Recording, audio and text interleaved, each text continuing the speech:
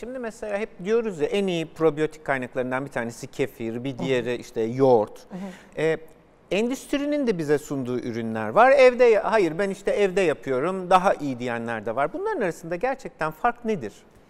Şimdi olay şu, bizim vücudumuza girdikten sonra bizim için mikrobiyatamızın içindeki e, var olan bakteri yapımızla çok çok ilgili. Bize nasıl e, iyi geldiği. Mesela ben duyuyorum, e, deneyime dayalı anlatacağım şey şu anda.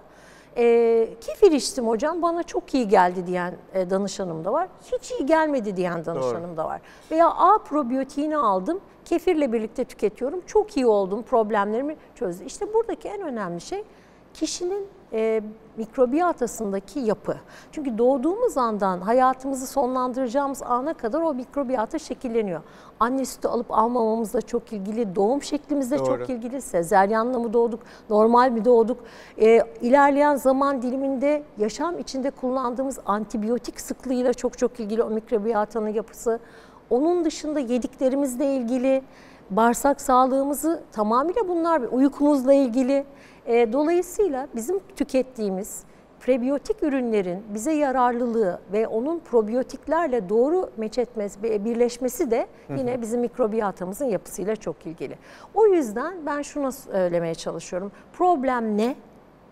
bağırsaklarımızda e, kabızlık mı var, e, e, diyare mi var, yoksa işte hazımsızlığımız mı var? O problemi tespit edip onun paralelinde prebiyotik ve probiyotiği e, kombine, Kombine kullanmak çok kullanmak. far- e, doğru oluyor. Peki Taylan Hocam doğru probiyotiği, prebiyotiği bulduk, aldık, kullanmaya başladık. Ne zaman faydasını görürüz? E, tamamıyla yine yapımıza bağlı ama en az 2 ila 2 günle bir hafta arasında faydasını görmeye başlarız. İlk e, belirtimiz ne olur? Bir kere sindirimimizdeki problem ortadan kalkmaya başlar. Sindirimimizdeki problemin kalkmasıyla birlikte o karnımızdaki şişlik, bizi rahatsız eden hazımsızlık ortadan kalkmaya başlar.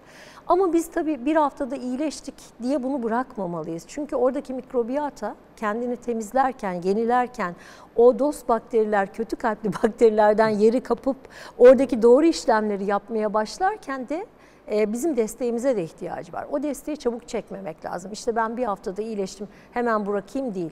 Beslenme şeklimizi devam ettirmeliyiz ve kullandığımız probiyotik desteğimize belli bir dönem daha devam ettirmeliyiz ve yavaş yavaş yani birdenbire değil. Diyelim ki haftanın her günü alıyoruz, belli periyotlarda alıyoruz.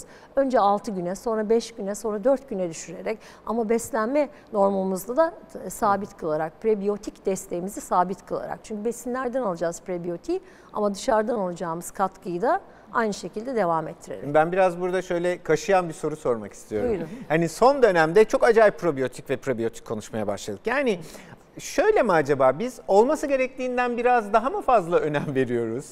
Tabii. Hani değil mi? Biraz da suistimali açık bir konu haline gelmeye başladı Şahane sanki bir bu. soru bence. Çok teşekkür ederim bu soruyu sorduğunuz için. Çünkü bana herkes geliyor diyor ki hocam bir probiyo- probiyotik kullanayım mı? Ne hangisini kullanayım? Şimdi hepimiz kullanmak zorunda mıyız? İlk önce bu soruyla başlamak lazım. E, Çok doğru. güzel.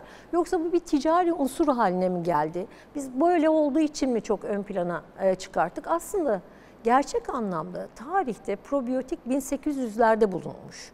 Nasıl bulunmuş? Ee, çok fazla diyare e, olan bir e, sistem içerisinde bilim insanları bunu nasıl çözecekleriyle ilgili araştırırlarken iki tane e, Lactobacillus ve de Bifidobacterium e, adlı iki tane suşu keşfedip bu suşu doğru şekilde insanların mikrobiyatasına verdiklerinde toparlandıklarını görmüş. Bunun üzerine ilerleyen yıllarda endüstriyelleşmenin de ilerlemesiyle probiyotikler hayatımıza daha çok girmiş.